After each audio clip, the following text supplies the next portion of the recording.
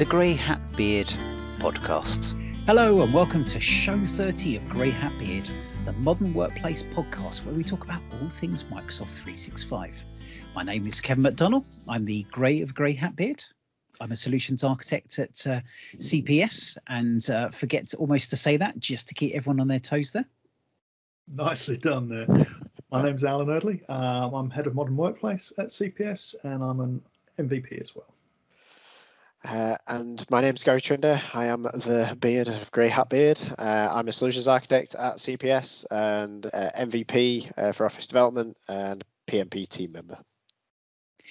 And before we get going, Al, what is that on your hat?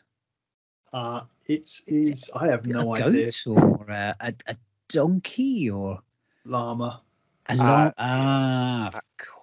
So yeah, if you are listening to the podcast, don't forget we are on YouTube as well, so you can uh, see ha- Al's hat every week. Uh, I, don't- I don't know if we've seen this one before. Not, certainly not for a while. Oh, so it's not been on for a while. You have seen it before, but not for a while. So we we had last time we we had Aaron on and we were talking about the joy of community, and before that we had lots of Ignite news. Um, so we're in part one at the moment. We're going to cover the latest news, and uh, first up, one that's I think came out this morning. More rumours than news at the moment, but uh, talks about Microsoft looking to buy Discord um, for more than ten billion dollars, which is an awful lot of money. Um, for those who don't know, Discord is a, a text chat and voice chat uh, system. You can go and register for free. Uh, uh, it's it was initially tied towards some of the more gaming um, side of things. Uh, I know my son's used it a lot. He he does his raids on Destiny and has good chats uh, using Discord, but you can register for free on there. Um, which makes me think that's a lot of money, ten billion dollars for something which is primarily a free service. I, I think, Al, you were saying earlier um, when we were talking beforehand that they they have Nitro, which is the more premium version. Yeah, so I'm, and I'm not sure what the difference is, but I mean, it seems it's communities, isn't it? It's discussion boards around different things. It's being able to go on have have a discussion around the games you're playing. Um, it's it's interesting. I've only come across it really with um, conferences that have been using it Mm. for the for the text-based chat because it's you know anybody can join. It's a little freer and opener than than Teams is, but it doesn't do all the video and everything that that we would use for for Teams meetings. But yeah, it'd be interesting to see how it fits into the Microsoft ecosystem in their gaming space, I guess, rather than the sort of the more commercial spaces that we talk about around Teams. Yeah, I think it, the community side of it is probably a, a big thing as well. So obviously, you know, kind of talking modern workplace, and we're talking about something that's come from gaming. Is that you know a bit that Discord has got a lot of integrations in it as well, um, so it can integrate with Slack. Um, so I've I've seen those integrations work. Um, things with Mm, Spotify, Steam. So it's got a good platform there, being able to pull in information from from other systems. But there are communities on there that are not gaming related. So Microsoft have Yeah. a space on there for the .NET community. Um, you, know, you can go in there and join, and you've got all the different channels, and uh, it's again just like another discussion forum or a place where you know the um, the people can hold kind of like open mic kind of sessions. You know, we've heard about Clubhouse recently, which is very kind of like invite only. You can think of that that you can just join a room with people in who are chatting about .NET and things like that. You can get in and have a So- conversation with. So them. basically, it's like Clubhouse but less opinionated. That sounds Um, quite nice. Possibly, yeah. Or maybe a bit like Yammer. Yeah, I was just going to say. Yeah. So, uh, where are we going to have that community? Is it Teams? Is it Yammer? Is it Discord? Oh, It does op- it does open up some interesting possibilities though, doesn't it? In terms of if you've got more open Yammer communities, you know, it's the same term being used in both platforms. Same mm. concept. I, I think my view on this, I, I think when Microsoft bought bought Yammer even and bought LinkedIn, a lot of that was the graph technology behind it. It was making the connections. My feeling, very much an opinion here, not necessarily based on any fact, uh, is that Microsoft's looking to buy into that youth market. Almost, it's it's trying to position things like they did with Minecraft it's getting certain generations thinking about Microsoft not just as the one that the boomers use. It's getting to make sure that are, are they going to disappear in five, ten years' time because everyone's moved on to more modern things? Um, I, am sure I can't remember who it was, but someone tweeted, "My son's just called uh, Slack a boomer Discord." um, which which made me laugh. And I, I think like much as much as that is a, a, joking comment, I think that is the worry from Microsoft. It's can we make sure we're positioning a new generation as they come through to think about us in a positive way? I, I think they've done a fantastic job with Minecraft and especially around the education side and uh, sharing what they can do with that. I think they've done things with MakeCode and getting kids being able to do code because they're now thinking about Microsoft in a positive light, not just those annoying people who do PowerPoint. And I feel that there's a there's going to be an element to this. I'm I'm hoping that they're the aim's not going to be to merge this into Yammer, merge this into Teams. It's going to stand as something standalone that will sit with Slack and probably not really change much at all.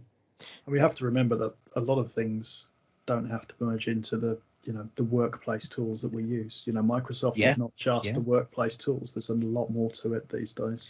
Yeah, I, I see this as very much it's it's again Microsoft with the acquisitions of on the gaming side, the Bethesda, you know, they've they've really pushing the Xbox Game Pass as a subscription service.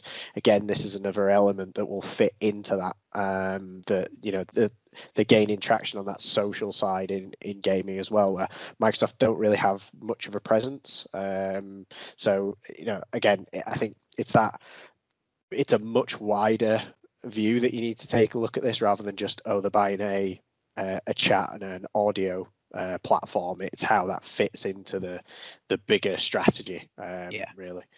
Um, Although I, I did read one that said that Discord's all hosted on Google's cloud at the moment. Yeah, did. And actually that. saying, you know, you, you think about the size and the, the volume of stuff that's going through there. If they can get that moved over to Azure, then I mean, yes, they're paying themselves, but there's another push towards Azure. I didn't quite see that one because where the money's coming in would be coming into themselves anyway. But I, I, I can see some logic in wanting to get more Azure usage rather than Google. It's a techno- technological challenge, though. I mean, as well, mm. taking something like that and being able to move it over seamlessly. oh, no, it's all in containers. You just lift and shift. It's that easy is, these days. Isn't it? yeah, yeah. Sorry. We've seen, we've seen them. We've seen them try and do this before with other platforms where they've tried to move them and re-platform. and that went uh, really well as well. And, and, LinkedIn as well. I've heard some stories yeah. about LinkedIn back in the day um, and yeah. uh, how it was uh, then completely rebuilt uh, effectively. Um, but yeah, some big undertaking there. Yeah, so it, interesting. All, all rumours at the moment, nothing confirmed, but uh, I, it certainly feels like a sensible move to me. Um, other nice article that came out I think this was yesterday or a couple of days ago. Um, another one we we've talked about the Work Lab um, site from Microsoft, where, as I say, exploring the science of work and ingenuity, really looking at numbers. And what they were looking at this time was the next great disruption is hybrid work. Uh, are we ready? And I this is really the move back to the office that uh, I think we were talking about last summer, and that happened very briefly, and then certainly in the UK disappeared again. Uh, oh, I haven't clicked on the actual article there, but this is really starting to talk about the longer term effects from the, the pandemic and people working from home and starting to evolve that that it's not at home or at work. It's going to be that hybrid and allowing people to work wherever they are. Uh, and, and the the kind of process of work. I know Gary, we've talked a lot about async communications, but it's not just where you're working, but how you work needs to change as well. How do you get a feel for an organization when you can't see them? How how do you make sure that people can be in the right places? How do you make sure that people have those moments where they disconnect, the virtual commutes and uh, piece there to keep the the mental health um, on that one? And I think this is going to be a big trend, a, a, a big movement that are looking there. As they say in here, flexible work is here to stay. Uh, I despite what Goldman Sachs may want everyone back in the office. I think many organisations are using this as an opportunity, whether it's for the the uh, the health of their workers or whether it's for saving money on big buildings, especially in the centre of London. I, I couldn't possibly comment, but uh, I, I think flexible work will come in and be the norm rather than the difference as it has been. Um, I think it's going, to, it's going to depend on the industry. It's going to depend on a whole lot of factors. But I think the thing about this this article is it is looking at society as a whole, as opposed to, mm. you know, just the knowledge worker industries or, you know, just the banking industries. It's it is looking at society and saying, what are the impacts of this this change? What is going to actually happen? You know, who's thriving? Whether it's different generations, whether it's working mums, whether it's business leaders.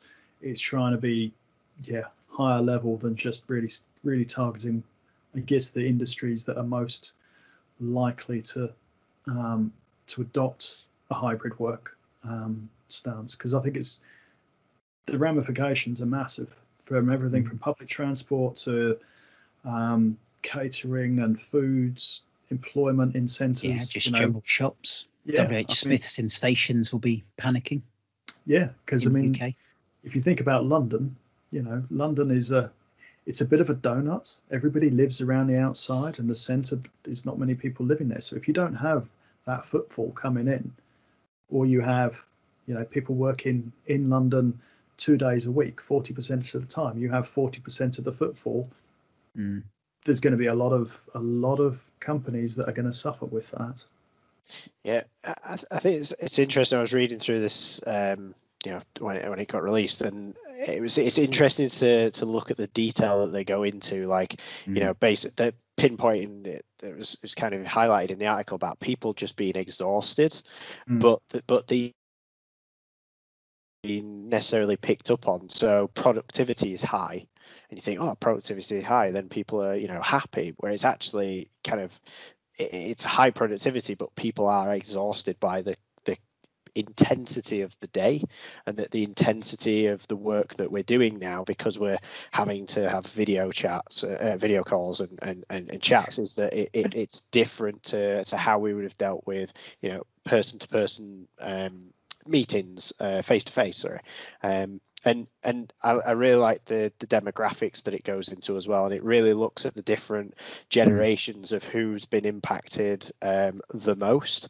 Um, you know we're, we're talking about people have just joined the workforce it during the pandemic as well and, and and and what impact it's had on them as opposed to say the business leaders um, as well um, and Sorry, it- I, I'm just going to. I'm distracted playing with this now, Gary. it's very Uh, good uh, yeah Actually, as you scroll the mouse, that I, I was trying to work out where the numbers were zero, but as you scroll the mouse, you can see the numbers increase. That is very cool.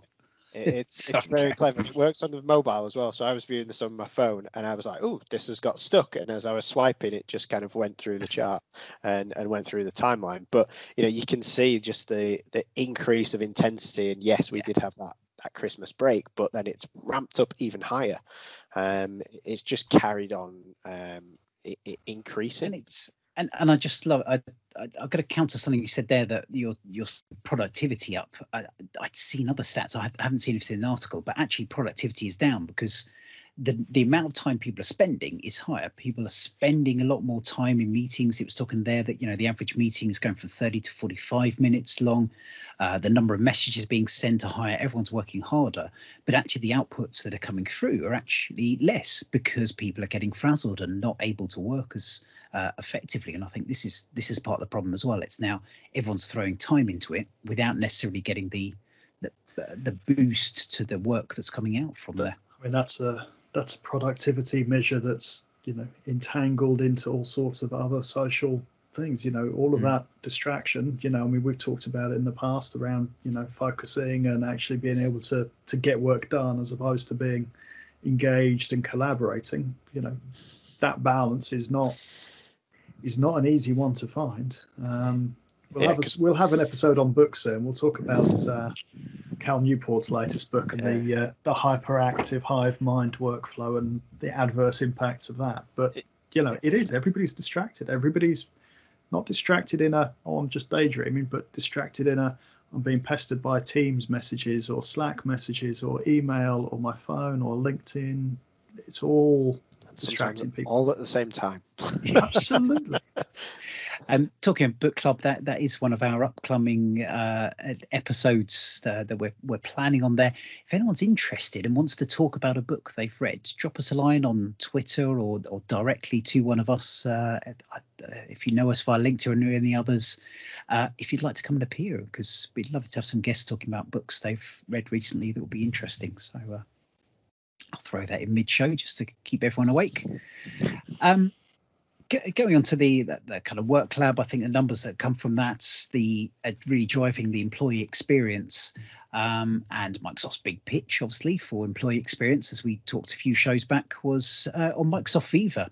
And this, uh, no, sorry, next Friday, I think it is, or 31st of March, yeah. um, whatever that is, they're going to be releasing the, uh, the, what's it, the PowerShell modules that will enable Viva connections on the desktop to to be turned on. So uh, hopefully everyone has already planned and turned on the the app bar on the left. Um, uh, sorry, set the home sites within SharePoint, and I think you can now turn on the, the, the app bar is starting to appear. I know it was in our demo tenant, um, uh, which by the way I forgot to mention to everyone. I've, I've turned on the home sites for that. Right. What was that? You're talking about change control? Yeah. How yeah, did you yeah. test it? Oh no, well maybe. Uh, we'll oh, we'll talk about that. that That's later. part two. Yeah. Um, so yeah, that, that will be coming on. So people will be able to, you, you do have to actively turn it on. Now you may think, oh, fantastic! I'll go into Central Admin or, or sorry, the Microsoft 365 admin and just flick a switch. No, not a chance. You need PowerShell for this. Uh, you need to be a full admin. Uh, you need what's it? Teams admin permissions or higher to apply the app in the Teams admin center. It's not yet supported in the Teams mobile app. Only modern SharePoint pages, uh, sites and pages can be viewed in Teams on there. So that there's a whole list of important caveats uh, that will be coming for it. But uh, it will be great to see that and see the the next big pillar of uh, Viva go live after Viva Topics, which is there you can use now. Uh, Viva Connections will be next, and uh, your intranets won't be the same. Is that a threat or a promise? You'll have to ask Microsoft on that one. Uh, talking vaguely on Teams, where was the one? Uh, something I noticed, I think it was Paul Bullock uh, who shared this that, that I picked up on. Um, but Microsoft uh, announced a new tool for managing large groups, um, which is really where you have those large Microsoft 365 groups. Being able to manage the the membership of that can be quite painful, and so they've open sourced a tool to make it a bit easier. So not having to write your own scripts and own details on there. Uh, deploys into Azure. Uh, interestingly, I noticed PowerShell. I, I, was about to say that. Yeah, you just. thought I thought it was like, no, go to PowerShell seven. I'll say or later, so we'll, we'll, we'll give them that one on there. Um, and it's got some scenarios where the tool can help. So, for example, corporate communications manager, manager Megan wants to set up a Microsoft Teams for their North America sales leader Adele. Uh, a member of that team can include everyone in sales in US and Canada, plus the global support. So there's over 700 members there, and this tool will help to manage that. I also see from this that it can help set up sync and, and, one of the issues i had a client not that long ago was was exactly that where they had their ad security groups that were already using on premises uh, so they weren't microsoft 365 purely security ones when you add those into teams, which you can do, but it takes a snapshot of the membership of there at that point in time. Um, this tool looks like it will be able to keep that that in sync. So as people uh, are added or removed from that group, this should be able to keep in sync. I will be honest, I haven't tried it, so I can't confirm 100%, but it certainly talks about setting up the sync for this group as well. So it looks nice we'll assume i'm glad you've just clicked on the uh, architecture diagram yes here we go so we've got lots of azure resources that are going to be needed to drive this and that's one of the things of moving to the cloud right you're not going to be running this on your own servers so mm. there's there's some associated cost to yeah. uh, to running this so you know databases well, i was going to say but... not much but yeah as you say yeah. contoso hr database um for user information. So yeah, be be interested to know what's that that to me most of the other things on there, you know, like a jobs table, this is your storage, that's yeah. relatively cheap. Logic apps and triggers, or sorry, that's functions there, isn't it? Relatively cheap, but databases aren't uh, that cheap. So and managed identity, which I'm glad to to be seeing in an architecture diagram uh, after yeah. talking about it quite quite a bit recently. Uh, just makes things a bit, a bit easier and very very secure. Um, but it's it's having that conversation, right? You're going to need to deploy it somewhere. Um, you're going to need a subscription, something to to, to pay for that um, as well. Um, those are always the interesting conversations to have with our customers who are not necessarily wanting to uh, use all the benefits of uh, of Azure for um, for these services. Absolutely. But I guess that goes that goes for any conversation around this type of automation, doesn't it? Automation, synchronization. Synchronization is always going to have some kind of cost. Yeah. But yeah, apart from the database, it seems a relatively cheap one Well, like okay. that. But, and it uh, does depend on whether that database is ingesting membership from an HR system and then Yeah, using it to create teams as opposed to using AD. AD security groups is one thing, but you know that would be a real benefit for that kind of solution. so certainly, certainly well worth uh, a look on there.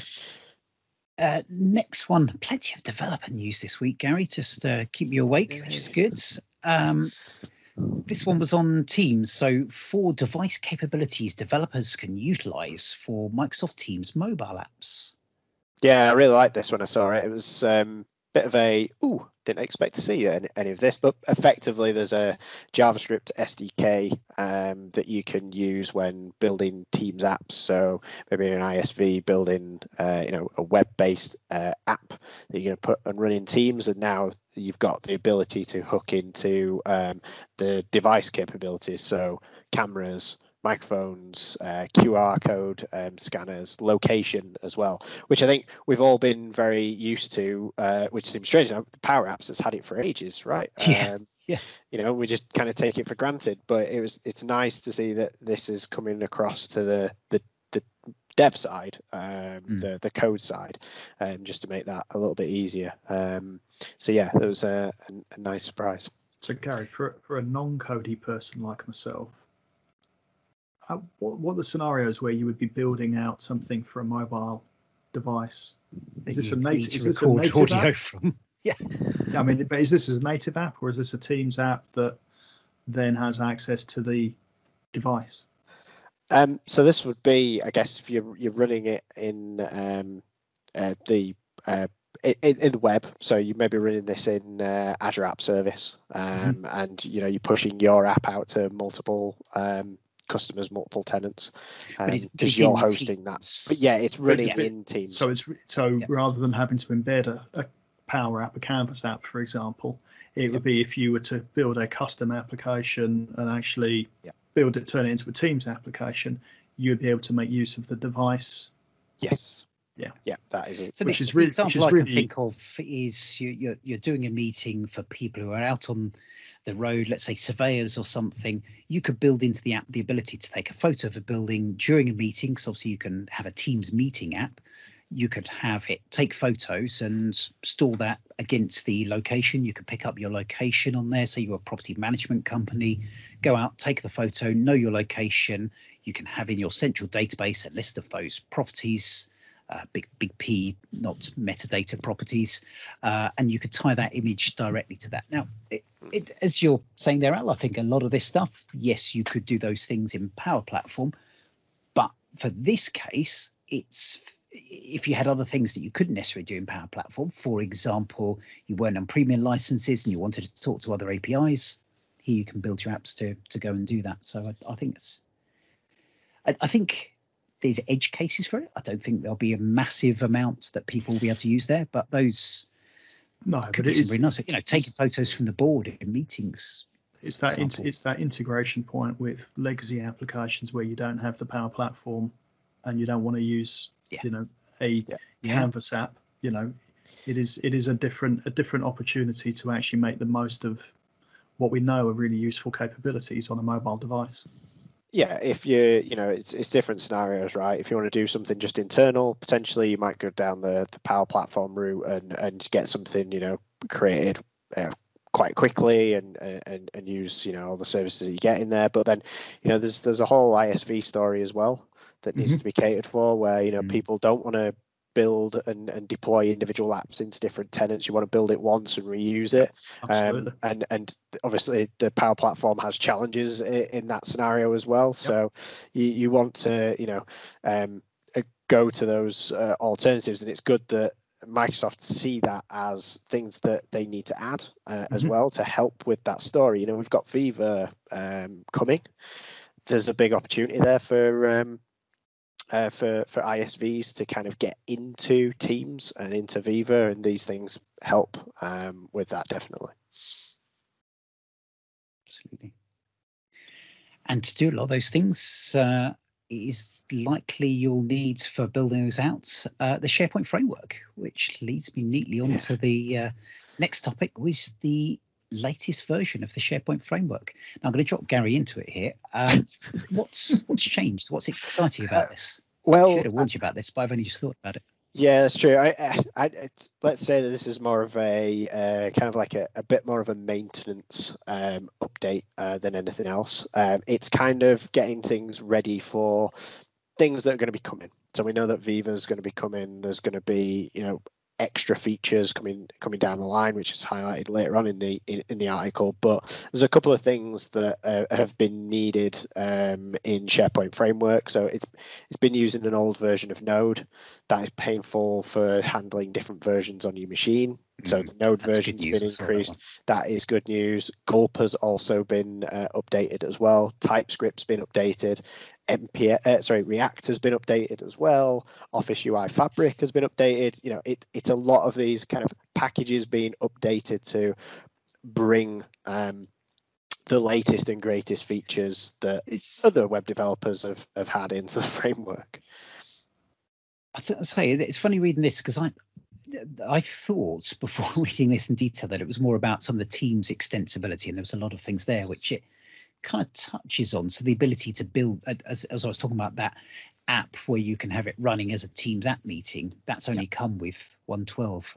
It- it's- that was out already, but hey, Yeah, there's there's it does say in there that, that it's basically preparing uh, the framework for that. Um, unfortunately, as I mentioned in the article, there's a server side issue, which obviously the, the SharePoint framework won't be able to fix because that's something in in. Sorry, uh, there's a, s- there's a server.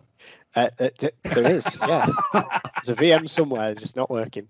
Um, but yeah, the it, that uh, scenario that, that you described there, Kev, is is something that's coming. Um, right. the okay. framework has been updated to take advantage of that when the server side issue is resolved you'll you'll then be able to uh, start building those kind of experiences Okay. So yeah, at least you can start building out your, your versions now ahead of that, and uh, yep um, and if you want to upgrade up and testing it, which uh, yeah, we'll get onto in a minute. uh, and if you want to upgrade you can use the CLI for Microsoft 365 and we released the uh, upgrade to 112 the day 112 was released so you could go straight away um, to the new version keep everything up to date Very nice. Uh, talking of other stuff going on, I don't think we've talked about uh, Doctor before. Maybe, maybe we should go back to there. But the, the latest version of uh, what's now Elio Struyf's tool, um, really about maintaining your documentation on SharePoint. So where you have a lot of your Markdown files that you've maybe written uh, to document your apps, but you want to be able to share it internally via SharePoint, this tool helps you do it, which I, I think is really nice. Yeah, I really like this. I've seen the uh, it's at version 1.10 um, and it's got there pretty quick actually. Um, the original idea is basically a static site generator for SharePoint. You've just got lots of Markdown files. You can uh, basically point the um, the Doctor to your Markdown files, and it will generate the SharePoint pages for you. And it does all sorts of images and headers, and you know you can build really nice sites and site maps and links and all that kind of stuff. Kind of what you would have with you know lots of static site generators out there. Like you've got uh, I use Jekyll for for my blog, uh, which is static site generator. You've got Gatsby, um, Hugo, few few others that named. But it's interesting that Elio's used SharePoint for that and creating modern pages. Um, so yeah, I really like the the way that he's taken this. Uh, it uses CLI for Microsoft 365 commands under the scenes, uh, behind the scenes as well. So he's been really active, um, adding things into the CLI as well, which has been great for us. Um, Mm. Definitely. So we've got lots of uh, commands in there for for managing page content uh, in the uh, in the CLI now. Well, I'm I'm certainly interested in this. We've still got our Microsoft 365 etiquette site, and I've managed to move each of those elements to very small markdown snippets. Hmm. And part of it was the view was that would make it easier to put into SharePoint. And as I was doing that, Elio managed to come out with Doctor, so uh, it's fantastic. Uh, one of my next tasks, if I ever get any time again, uh, is to be able to take those and and have a way to kind of pick what you want from certain keywords and have that publish out to a SharePoint page internally, so you can share that etiquette for the ones that you want internally. So uh, yeah, And, nice. and and just a, a final point on this, um, as we were talking about, we're going to be talking about testing later. Uh, Elio has done so much testing on this. Um, he basically runs tests every six hours, and it does a build on um, three different operating systems. Checks all the time. It's all run through GitHub Actions. It is incredibly impressive. Uh, he's done a really good job with that. Um, it just goes to show, you know, what you can do um, when you you kind of build all that automated testing in to make sure that yeah everything is working uh, as it was. Okay, going to rattle on before we test Al's stomach too much. Um, interesting announcement, which I think we we'd all seen a bit before the show, but hadn't really delved into, and that's that the Microsoft Dataverse Custom API General Availability was announced.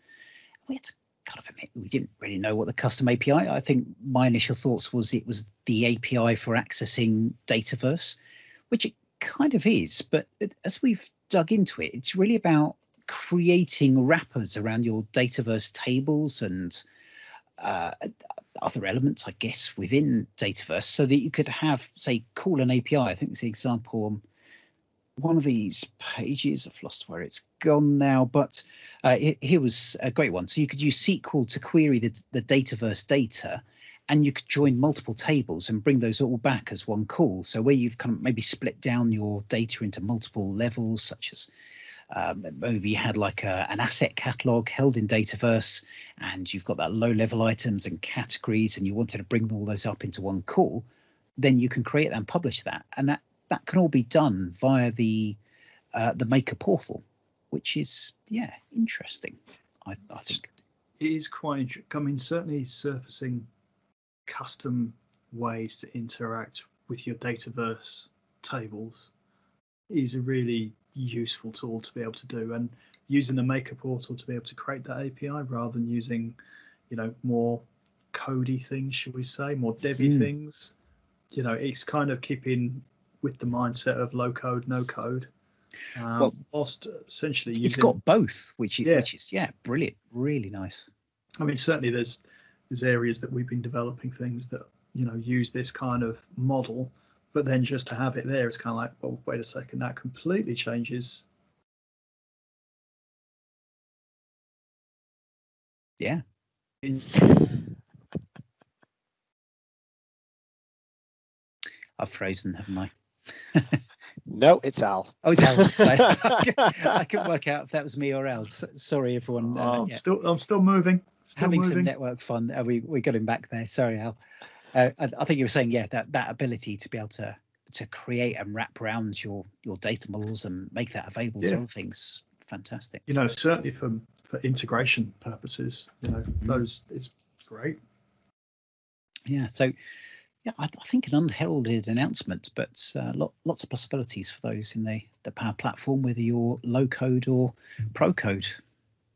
I'd say no code, but yeah, Look, looking at the picture there, how old that is, I, I think you may struggle slightly, but uh, nothing nothing stop you. Give it a go. Become a bit low code on there. Uh, okay, that was the end of our news. We're on to uh, well, I neatly term events and ego posts, although not not too many of the ego posts uh, this week. Uh, first one, just want to call out. Uh, we mentioned CommsVerse a lot, uh, and uh, they are doing a lovely thing talking about the Tech Community Awards. So really celebrating community champions who are going out there and doing stuff in the community. Nominations close on the 31st of March. So please go out. That there are so many people who do such really good stuff out in the community. Uh, I love that they're they're helping celebrate this. So uh, do get your nominations in for that. Uh, if you go to CommsVerse, sorry, online.commsverse.com slash awards and uh, go and nominate a few people and let them know um, what you think. Uh, other events we've got coming up. Uh, I think Al, you and Peter have got the Microsoft 365 security and compliance coming up on the 31st. We do indeed. Yep, some really good sessions from Albert and Tice, and yeah, I think there's uh, we're getting a growing number of people. So I think we've got what 80 odd registered to attend that. So it should be uh, it should be a really good session, and uh, yeah, some really uh, we've got some super speakers for this week, this month, but also we've got some fantastic speakers lined up for the coming months as well. So uh, yeah, pop along, sign up, get notified when we put new events on, um, and follow us on Twitter. Lovely. Uh, I think the uh, Peter Rising, who we had on uh, when we were talking about Ignite, is uh, talking at the uh, Teams. Uh, I'm getting these are all the way around. Teams Day Online Three. it's confusing me by being on the web- website Modern Workplace Summit, but yeah, there's a, a, whole set of events that are coming up on the 7th of April, which should be fantastic. Um, there's also Teams Nation, which was going to be soon, wasn't it? But the date of that's now changed, Al, I think, to 12th of May. And uh, oh, Karen talking because Al seems um, to be um. freezing slightly there. So, yeah, the Teams Nation, I, I, think the call for speakers is still open on that one, um, but it's due to carry on uh, due to take place on the 12th of May. So I uh, can't tell you who's going to talk because the call for speakers is still open on that one. So still waiting for people to submit stuff uh, on that, which should be great. And last, we can't finish without a bit of a birthday because on the 27th of March is SharePoint's 20th birthday. And I'm going to apologise because that will be making quite a few of our listeners feel a little bit old at this point. Um, I, I, know for many of us, it's been there throughout much of our careers. I, for me, I was there since 2003, 2003, 2004 when I first started using SharePoint, and it's really it's been fundamental for what I do. So uh, the the organisers of the European Collab Summit are putting on a bit of a party. They've they've got plenty of old stories. There'll be lots of old wizened people talking about the good old days and don't you You're going to be there, just deploy solutions. yeah, definitely wizened. Not that that's just wise. So I, am not sure that's okay, quite quite me. But uh, yeah, I hope to be there. They're going to have it on AltspaceVR. You know this modern VR technology. God, who would have hmm. thought that back in the day? But uh, I think just just a chance to have some fun and celebrate uh, with how things have come along. So uh, do sign up for that. I think there'll be plenty of people. It's going to be global. There's slots all around the world. So uh, keep an eye on that. SharePointBirthday.com. Any any other bit? Oh, uh, there was Garry. I've just realised we've missed. You're going to be speaking at the uh, Aaron Rendell's uh, South Coast user group, Microsoft Cloud South Coast user group as well. Yeah, uh, so got a session on there, bit of a, a dev session. So going to go through CLI for Microsoft 365. As we mentioned, you know, SharePoint framework, um, new has just been released. Um, going to show you how to upgrade your projects and all of the little utilities that we've got in there to uh, make your life a little bit easier as a SharePoint framework developer. So yes, that should be good. Uh, we'll wrap up the news there and move quickly on to uh, the second part of the show where we're going to be talking about testing. So we will be getting testing in part two. Join us. Uh, join us later. Ah, no, I've just remembered it won't be later. So if you are listening to this, we're going to be releasing part one uh, today, and then we'll be releasing the testing this time next week. So you will have to hold out. It. Once we tested it fully and made sure it works suggesting I test some of the stuff. You know, Al, I don't do that, I think, But we'll talk about that in part two. Uh, thank you very much and see you next week.